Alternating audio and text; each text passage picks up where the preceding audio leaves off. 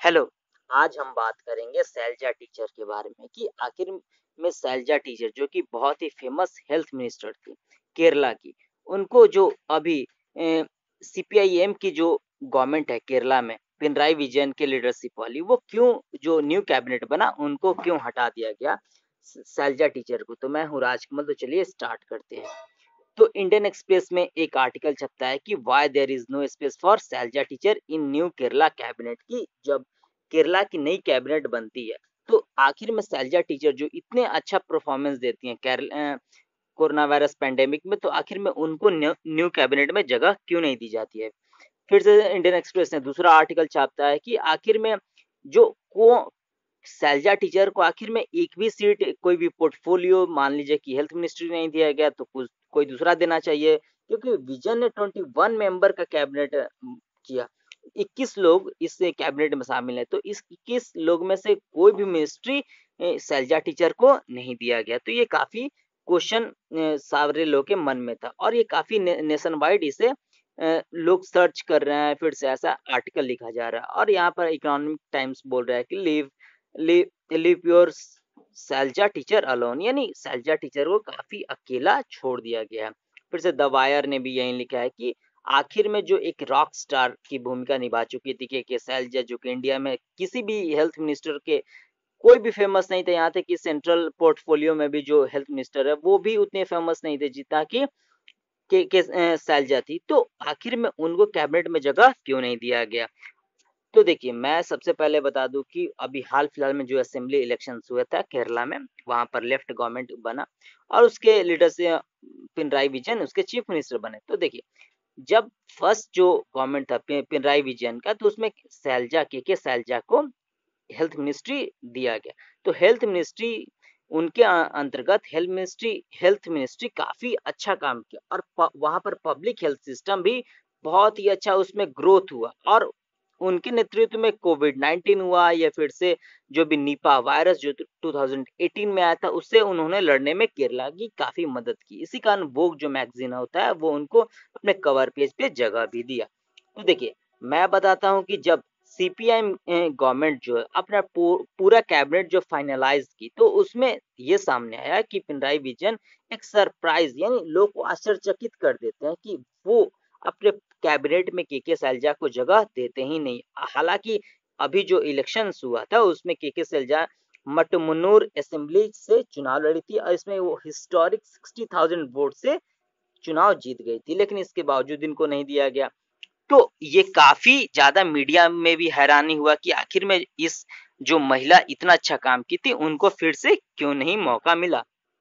तो खैर, इन सब के इन इन सब के बावजूद भी उनको पूरी तरीका से वो, लेकिन वो अपने समय, अपने काल में, एकदम जमीनी स्तर पर गाँव के गाँव, पंचायत टू पंचायत, हर शहर में उन्होंने बहुत ही बढ़िया काम किया। लोग खुश था। उनके, उनको वो कितना वोटों से जीती, ये भी आप अंदाज़ा लगा सकते हैं। साठ हज़ार वोटों से एक विधानसभा को जीतना बहुत बड़ी बात होती है।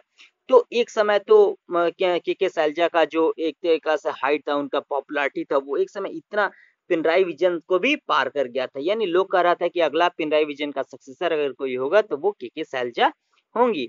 लेकिन, पिनराई विजन ने सबको चौका, चौंका दिया, हैरान कर दिया क्योंकि इनको अब अपने कैबिनेट में कोई जगह नहीं दिया। तो अब देखिए, अब जो की सोसाइटी है, केरला की सोसाइटी वो अब देख रही है कि आखिर में जो पिनराई विजन है, वो किसे हेल्थ मिनिस्टर बनाते हैं और वो कैसा परफॉर्मेंस करता है।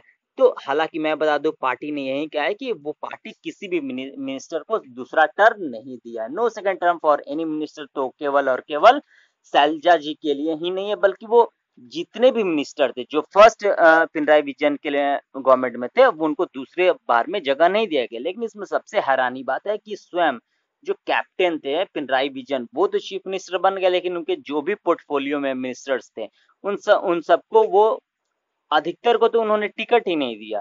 और टिकट जिसको दिया, वो जीते, लेकिन उनको मिनिस्टर नहीं बनाया ये पार्टी का कहना है।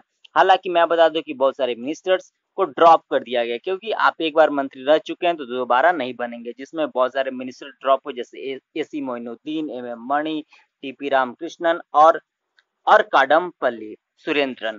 तो हालाँकि मैं बता दूँ कि इसमें एक केटी जलील भी एक मिनिस्टर थे, जो जिसको लेफ़्ट सपोर्ट कर रहा था, हालाँकि ये इंडिपेंडेंट थे। तो केटी जलील पर आरोप लगा था कि ये एकदम खपला किए थे अपने मिनिस्ट्री में और पूरी तरीके से परिवारवाद को इन्होंने बढ़ावा दिया गया था। तो हालाँकि मैं बता दूँ कि पूरे केरला में सुप्रीमेसी अगर किसी की चल रही है अभी वहाँ के गवर्नमेंट में, अभी वहाँ के और जिस पार्टी का गवर्नमेंट है सीपीआईएम में तो उसमें भी मैं बता दूँ तो पिनराई विजन का ही सुप्रीमेसी चल रहा है। पिनराई विजन पूरी तरीके से अपने पार्टी को एक तरीके से कह सकते हैं, केरला यूनिट को डिक्टेट भी कर रहे हैं कि उनके जो भी डिसीज़न पर कोई क्वेश्चन क्वेश्चन रेज नहीं कर रहा अगर क्वेश्चन रेज कर रहा है तो उसे साइडलाइन कर दिया जा रहा है, एक हार्ड एक hard core central leadership BJP की तरह।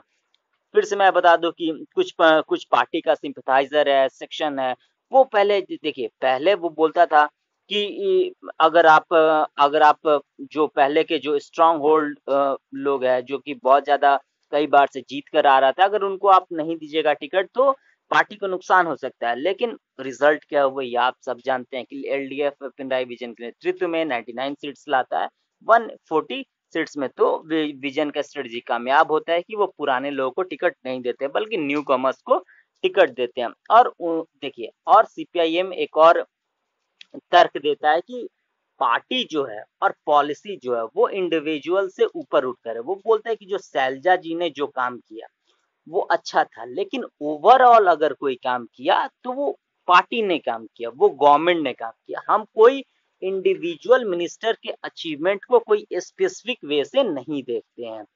तो वो बोलते हैं कि हम होल पूरी तरीके से पार्टी के परफॉर्मेंस को देखते हैं।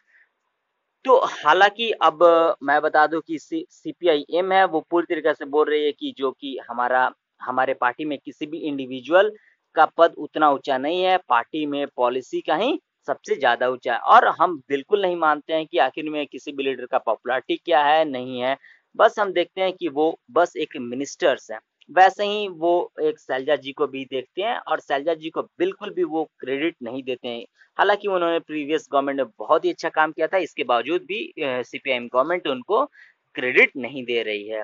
फिर मैं बता दूँ कि आखिर में चैलेंज क्या है विजन जी के सामने? तो विजन जी के सामने यही चैलेंज है कि वो दूसरी बार फिर से तो गवर्नमेंट बना लिए हैं।